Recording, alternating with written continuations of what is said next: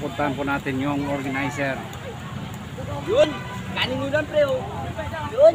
Kanin mo lang, oh. ano sa endorsement sa President Duterte Sofia na he is the best person to succeed sa kanyang liderato.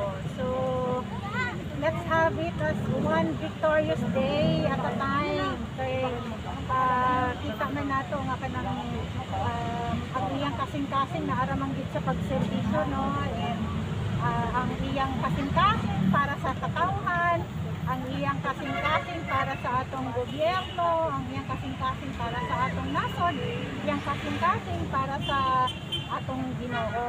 So, kami din eh, mga kababaihan ang naakaroon din eh, kay para ipakita sa iya na siya ang gikinahanglan sa mga kababaihan. Kay ang atong mga kababaihan maoy dunay ano daghang panginahanglan kung unsaon nila pag take care ang ilang family. And si Senator Bongo na gusto natong padaganon pagka presidente di nato gusto nga mag-withdraw siya. So this is a victorious day para sa atong tanan. Kay wala siya nag-withdraw so we are very happy for that no nga wala siya nag-withdraw although dili man nato gusto nga padugangan pa ang kanang burden sa iyang kasing-kasing but because naniniwala ta nagtuo kita na siya gyud ang angayan na musunod sa pagka-presidente no? Kay wa man ni dadan si Inday Sara ang ang atong pinakaano din ha nga sa man ang tinuod nga nakasabot unsa ang pamalakan huna-huna ug unsa ang kasing-kasing ni President Duterte no other than Bongo. Ma'am, ano pong masasabi natin? Ah, hindi ako mayoran.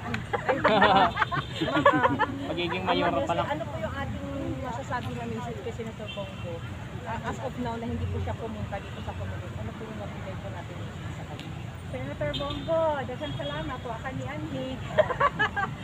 And ah nialang mi din he para pakusgan ang imong ano kasing-kasing na ah, dili man nimo may makita adlaw-adlaw pero naa kami nagasuporta sa imo eh katong mga kababaihan nga naa dire they are all people you have helped one way or another. Katong mga nangani dire natabangan nimo during sa sunog nakatabangan nimo nga dunay nasakit sa ilang pamilya and sila mismo ang dunay kasing-kasing nga makita nila na gusto nila ang imong serbisyo. Dili lang nila ipadayon kung dili padakon nimo. Nakasabot man sila na imo senador ni hapon. Pero ang gusto nila mas maluagan pa gayod ang imong ah, kakayanan para makapagserbisyo. Meron yung mga katauhan mga lalo na kami mga na naghahanap din para bilang-bilang para pa sila bilang sayaw no? Bilang kanta o bilang cheer Ah, para sa inyo tuloy ni Inday Sara o ni ah, President Duterte. One, two, three, ready, set, go. One for Bongo, two for Inday Sara, three for Duterte, ready, set, go. And that's the team up that is winning.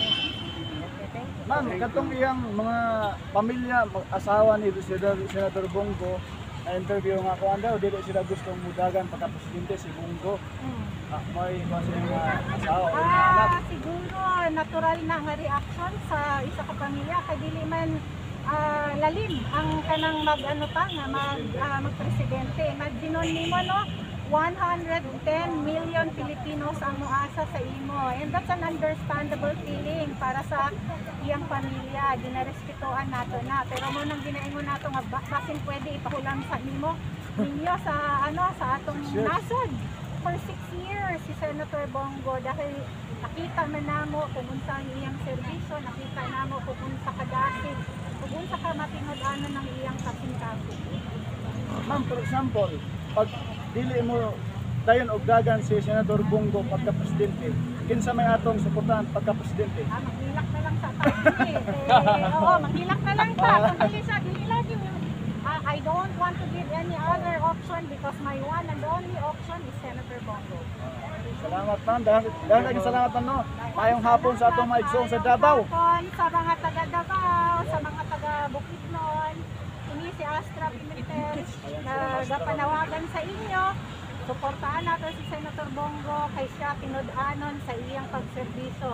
Maski galisdan siya siguro kung makita niya unsa ang hope nga nakita sa mga tao sa iya especially ang mga kababaihan. Bilang isang babae, nakita na ako kung giunsan niya pag-take care ang mga kabataan and these are the very concern sa atong mga kababaihan, no? sa atong mga inahan kung ang kaugmaon sa ilang mga anak. And we salute you for the Malasakit Center. We salute you for all the legislation that you have done. Ni Alang ni Binhi para suportahan ka.